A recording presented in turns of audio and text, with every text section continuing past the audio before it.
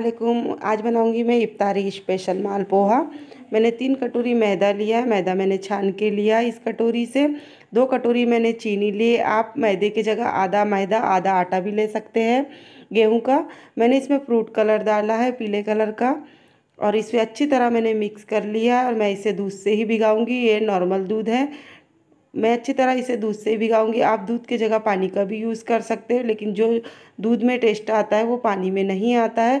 मैं अच्छी तरह इसे डायरेक्शन में फेंट लूँगी अच्छी तरह ताकि इसमें जो गाठे वगैरह ये ना पड़े। इस तरह का बैटर बन के तैयार हो और ये बैटर बन चुका है। मैं इसे आधा घंटे के लिए ढक के रख दूँगी। आधा घंटा हो चुका है, अब मैं इसे खोल के देख लूँगी। अब मैंने इसमें बेकिंग पाउडर डाला है और इलायची पाउडर डाला है टेस्ट के लिए। इनको भी अच्छी तरह मैं मिक्स कर लूँगी। बैटर के अंदर अच्छी तरह फेंट लूँगी। एक तरफ़ मैंने ऑयल गर्म हो चुका है, उसमें ये बैटर डाल दूँगी। थोड़ा थोड़ा करके डालना है, आप आपके साइज़ से मालपोहे छोटे या बड़े बना सकते हैं। मैं इस तरह के बना रही हूँ, ज़्यादा बड़े नहीं बना रही हूँ और इसे गोल सेप में चम्मच से कर लूँगी हल्के हाथों से।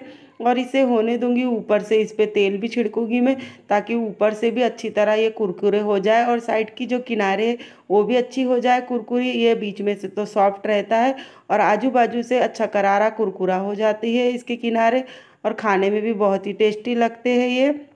मालपोहा बन के रेडी हो चुका है। मैंने दोनों तरफ़ से इसे अच्छी तरह सेक लिया और इसका एक्स्ट्रा तेल निकाल लूँगी मैं। एक तरफ़ इसे निकाल के रख दिया है मैंने, दूसरा भी इसी तरह मैं फ्राई कर लूँगी। इसी तरह थोड़ा थोड़ा बैटर डाल के मैं इसे बना लूँगी और किनारों पे भी अच्छी तरह मैं तेल छिड़कूँगी। चम्मच से इसके आजू बाजू से कर लूँगी और मैंने आँच को मीडियम ही रखा है और मैं इसका एक्स्ट्रा तेल निकाल लूँगी। ये भी बन के रेडी हो चुके इस तरह के मालपोए पे रबड़ी लगा के भी खा सकते हैं। इसका टेस्ट और बढ़ जाता है।